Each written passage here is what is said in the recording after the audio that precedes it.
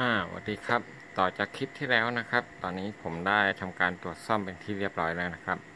ก็คือว่ามอสเฟตนี่เปลี่ยนไปทั้งหมดเลยนะครับ ทุกตัวเลย ก็คือแทบหมดสต็อกเลยนะครับอ่าตอนนี้เอ่อเครื่องกำลังทดสอบอยู่นะครับ ตอนนี้มีเอาพุตออกแล้วนะครับ นี่เพียวทรายออกสวยงามปกตินะครับ เส้นสีเหลืองนี่ก็คือ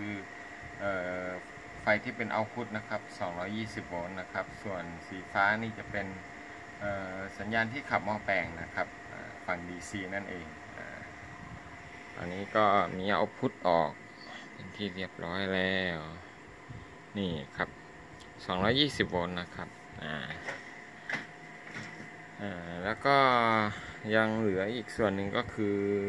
เป็นบอร์ด soft start นะครับของตัวนี้นะครับ ก็คือว่าคงต้องเปลี่ยนใหม่นะครับ มันเกินเยียวยาแล้วอ่าแบบนี้ซ่อมไปก็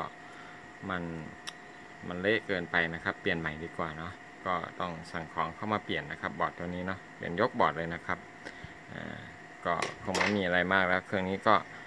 เปลี่ยนแค่บอร์ด soft start ก็ถือว่าจบงานได้แล้วนะครับ เครื่องนี้หลังจากนี้ก็คงจะ ต้อง test เครื่องกันอีกยกใหญ่เลยนะครับ ก่อนที่จะส่งงานลูกค้านะครับนะฮะส่วนที่มีปัญหาส่วนที่เสียก็คืออย่างที่บอกครับ MOSFET ทีนี้ทุกเครื่องนะครับ MOSFET ช็อต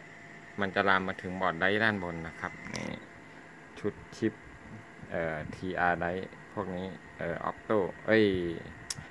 zener นะครับ มันจะมีปัญหาบ่อยอ่าพวกนี้ต้องไล่เช็คให้หมดนะครับ ก่อนที่จะ